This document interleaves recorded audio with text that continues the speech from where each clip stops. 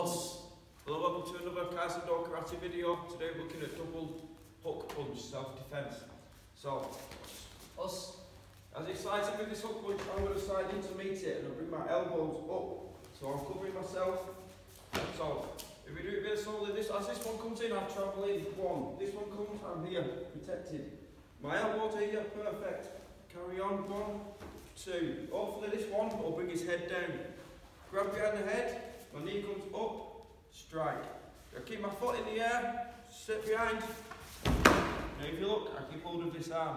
I always control the arm, break it over one, and punch. So, I'll show you that one more time. I, slide in, one, two, my elbows are here. I could carry on if I want. Here, bring his head down with that strike. Grab behind, knee.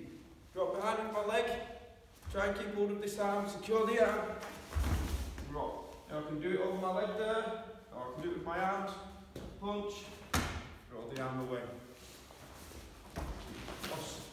Hope this video helps, keep watching our videos.